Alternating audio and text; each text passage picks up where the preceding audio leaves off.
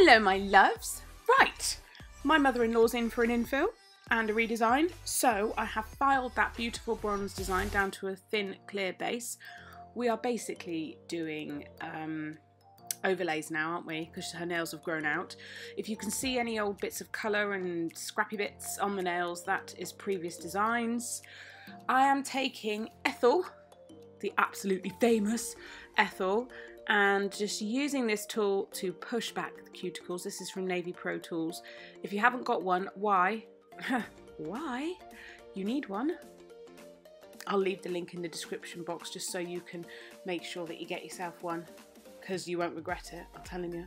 Um, so, uh, as you can see, Ethel also removes dust and debris from the nail surface, which is why I love her. So just I'm just quickly whizzing over because obviously where I've been filing the nail anyway, there's not much on there to remove, but she will get out the dust from down in those folds there. Oh, would help if I turned around the right way, wouldn't it? So there is some uh, debris on the thumb here from previous designs. But we're just going to whiz Ethel across the nail surface, push up into the cuticle area and just release any cuticle that's stuck on the nail there. And that's that done. We'll go in with the E-file on a low setting. I go like with a 5. And this is just a, a cuticle bit from Nail Dot Supplies. And I just use it to exfoliate right up around the cuticle area where I'm going to be placing my thin clear bead. And it just releases any more uh, dead tissue that might be kind of stuck there.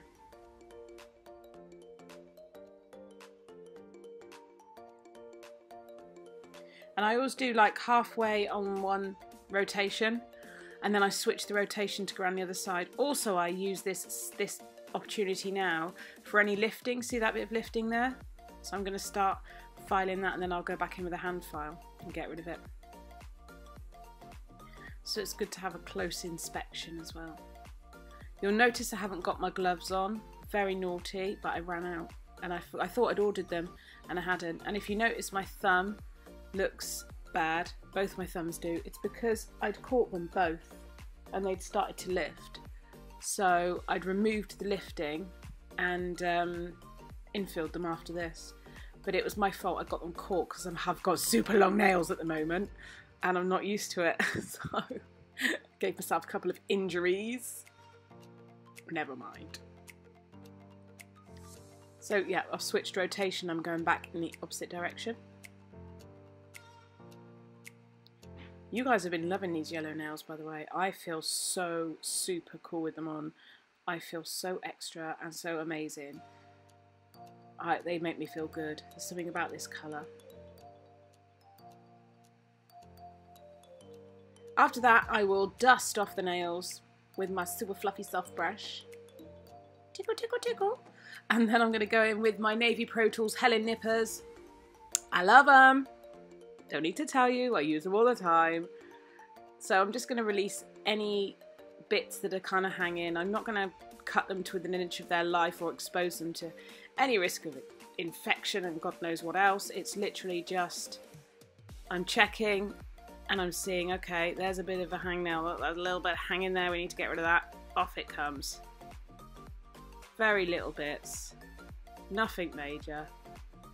Okay but because they're so sharp, um, that it's hard to explain. They're incredibly good quality tools, so their motion is incredibly smooth. It makes them very easy to use. So they may look the same as other tools, but they don't feel the same. And I know that because I've got other tools, so I can compare them. So I've dehydrated and prepped, and I'm going in with primer. You saw me give them a good scrub to get rid of any other bits of dust that were lying around. Only priming the areas that have no acrylic on them. Now I'm using a different one from Diamond Nail Supplies. It's the Ultimate Adhesion liquid. Uh, it's actually got a built-in primer. So technically you don't need to use primer, but I still did. And this is absolutely, I've had feedback from other people that have used it. And apparently if you have any problem lifters, apparently this is the dog's bollocks. You need to use this. Now, My mother-in-law's not really a problem lifter, but I thought I'd use it anyway. Uh, because um, Jade asked me to do the stinky test because I have a sensitive nose when it comes to monomer and I'm quite fussy. Uh, stinky test wise, it's actually slightly less odour than her normal one, which is good. Um, doesn't burn my eyes, that's good. It's, for me, I found it slightly slower setting. So a bit like Naio Nails has their high speed and then they have their medium and then they have their maximum adhesion and that, that's a slightly slower setting. This is like that. Slightly slower setting, maybe work a little bit drier with it. Apart from that, absolutely brilliant. So I'm just putting a thin clear base down so that I've got something to file back to next time. Tucking it in. Just tuck it in at the cuticle very gently. You don't need a thick amount of product, just a bit of protection for the nail. You're going to laugh at me. My mother-in-law chose the colour that I hate the most that I forgot to take out of my basket. But I love her, so I did it anyway. Um, yeah. And I don't care if you get mad at me for saying I hate this colour. I love the colour. I hate working with it. Can you guess what it is yet? Go on. It's the Azure Sky, I think, from Glitterbels. I've got some Glitterbels colours that are great. This one I don't like.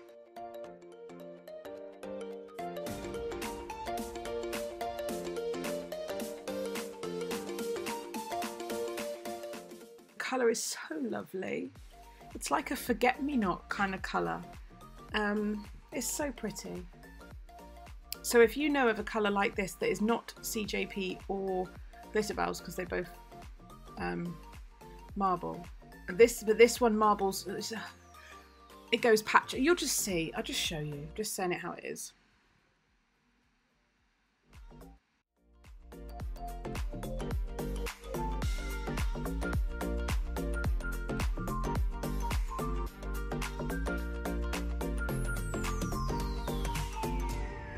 On to the next finger because the ring finger is going to have glitter on it.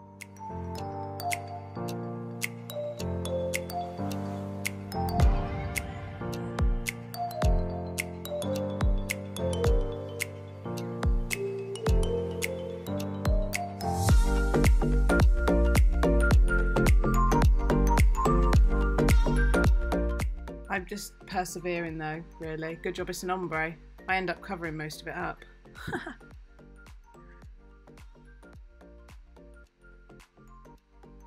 It's just such a nice colour. So then I tried the flicking the reverse bead, okay? Thinking that would be better. Because there's that tone I want, but no. No, because the white just comes away from it. And the two just separate like they, they don't even like each other. They don't even want to be close relatives. So unfortunately, yeah. It's just not the easiest to work with. I'm sure there's worse, and I'm sure there's other brands with difficult ones that marble. Right, this is my own blend of cover powder. This is using Stripped and Bare from Diamond Nail Supplies. Equal parts of both, and then, or pretty much equal parts of both. And then a sprinkle of Glitterarty Fairy Chrome in silver, and it makes a sparkly, beautiful pinky nude colour. And it just gives me the right amount of coverage, so I'm happy. It was requested that I try and do some side views of like how I place my beads and stuff, so I'm trying. I don't know if this is side viewy enough or if you need a different view. I will be getting more overhead views um, in the next, I'd, I'd, say conservatively the next month because it depends how long it takes Mr. B to, to fashion some kind of overhead device. Just removing a little bit off the tip there, but I'm covering the majority of this blue because it was very, very patchy, so I, I wasn't really happy with it. But it is just a nice colour, isn't it? Very difficult. I am going to have to remove it from my basket though, because I just think if I have to work with it again, I'll cry.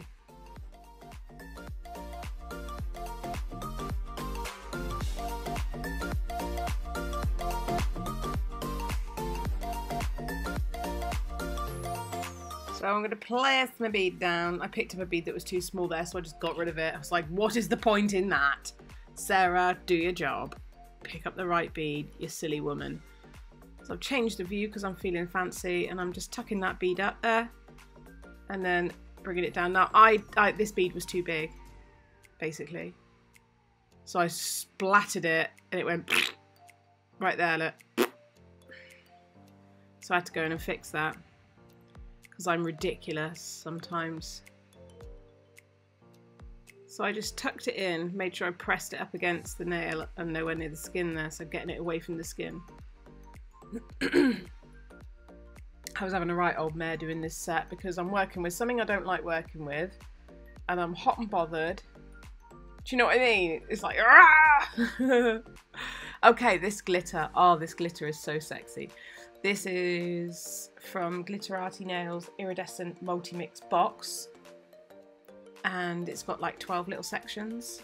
And this is like a bluey, a light bluey one. Oh, so pretty. I think it's in the summer collections. I think. Don't quote me on it, but if you want to know, I'm sure Glitterarty will point you in the right direction.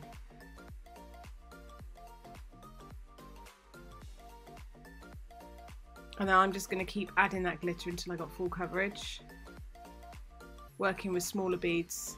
Obviously, I'm aware that the monomer is slower setting, so I try to be more gentle with my brush movements and try to, I've got a bit more time to press the glitter in to the damp nail as well. So it's actually, if you're learning, it's really good for you because not only have you got a slightly slower setting monomer, but you've got that added adhesion because when you're learning, like, I mean, I still get lifting.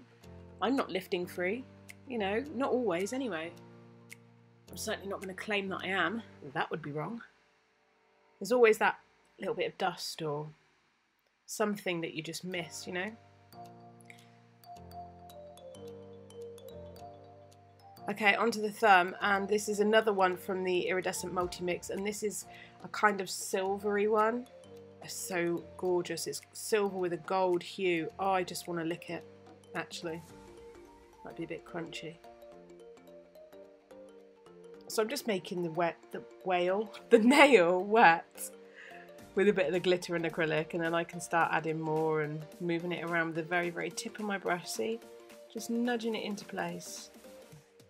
Very gently. you can always go back and move it and add a bit more and whatevs you need to do. Love a good thumb.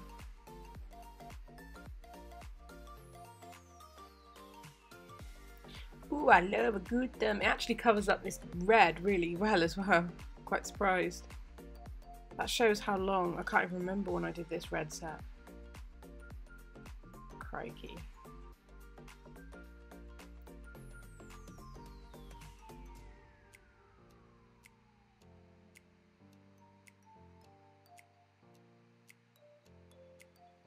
So I'm just patting in now, tapping that glitter down.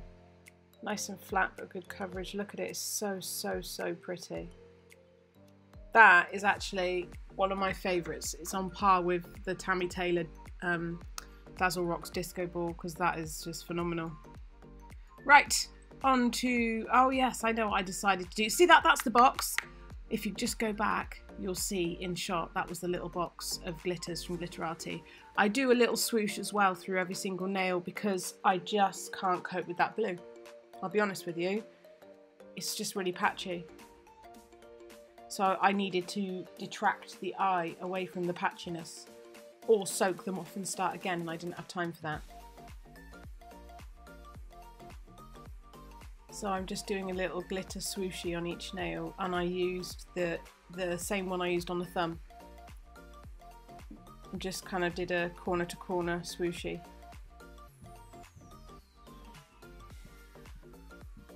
Oh, I've got some Lush nail mail coming this week. I can't wait to show you. Do you want an unboxing? It's from Angel Crystals. Would you like an unboxing? I still need to do a video and show you these um, flakes I got sent from Beauty Big Bang. In fact, I need to get hold of Beauty Big Bang and say, do you realise you sent me a bag of all these things? Because I wasn't expecting them.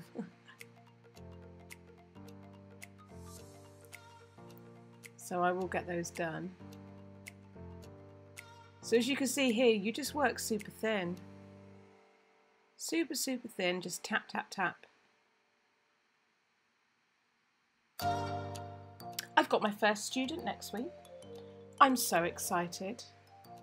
I'm hoping she'll let me share her work on Instagram, so keep an eye out and you can check in on our day of progress and learning and development. And I think it's going to be super, super fun. Can't wait.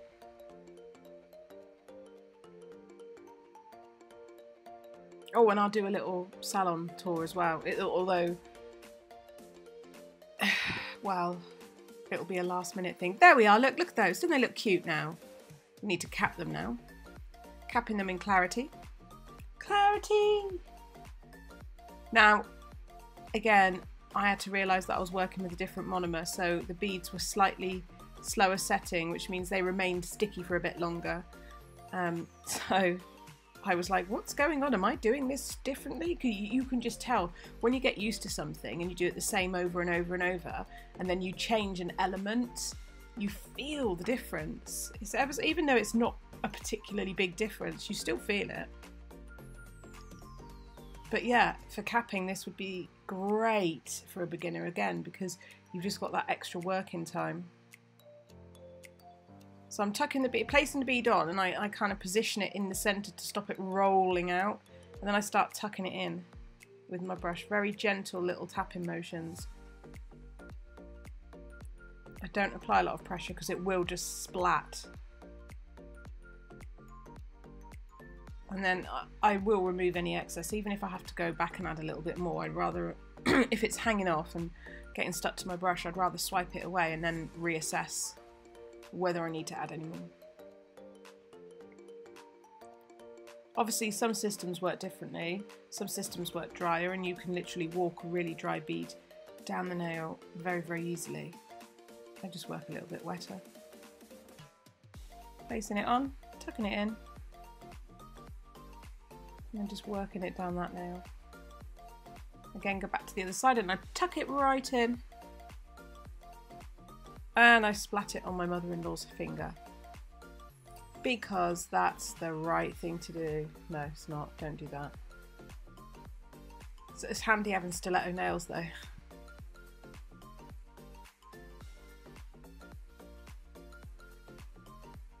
So yeah, I, I, I, I forgot. I, my gloves should be. Oh, did I order them?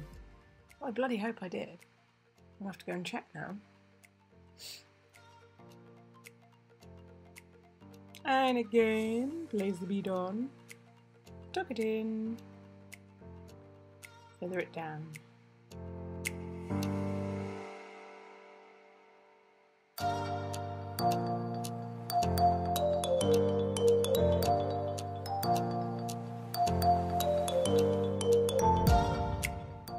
Just going to add a little bit at the tip there because I felt like I just missed the very tip. Oh, look at my bling. Sorry. Just caught a glimpse of my bling blinding me. If you want to know what's on my nails and you want to watch the video, I will put it in the description box if I remember. Mm-hmm. so you can check that out and grab my discount codes and all that stuff. All that good stuff. Did you see Liz Guild's uh, like neon yellow? Oh my god, those nails were so cute. They were schmexy.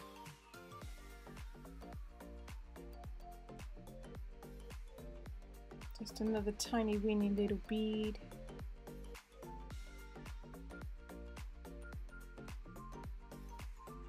Okay, a little bit of filing quickly, but then I went out of shot because I moved a hand forward and forgot to adjust the camera. So I'm just doing sidewall, sidewall, free edge, and then I do the body of the nail. But I change files when I go near the cuticle to a slightly more gentle file because this these stainless steel files are super strong, but they really can slice up a client. So um, I have my trusty files that I use for the cuticle area, which are just a bit more soft.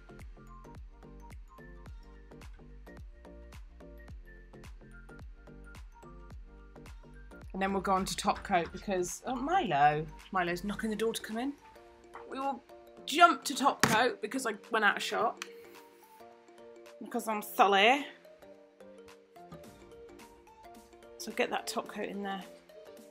Look at the shine. And then we'll go and do a little bit stamping. And you don't see me do stamping very often, do you? Because I forget I've got stamping plates, that's why. I forget what I've got. I have so much that because it's not on display, because it's been in storage boxes, while the uh, nail studio slash salon slash summer house slash end of the garden is being built, I forget what I've got. Hello, Milo. You alright, my love? Right, mate? so yeah, once I have all my stuff out and I'm able to look at it, I'm sure that you will see much more variation in designs. I have two designs in my head that will be coming to life very shortly as well. Okay, so I've just, I don't even know what Born Pretty plate I've used. I will put it all in the description box, I promise. Look at that. Isn't that cute? Doesn't that really kind of like excite the nail a little bit? I love it. Oh, I'm going to have to do more stamping. I really am. I have to get some more stamping plates. Let me know your favourite stamping plates, please, in the description box because I wouldn't know where to start. And these are the finished nails. I think actually they turned out all right considering. Bit of a headache. But thank you for watching. Tally bye!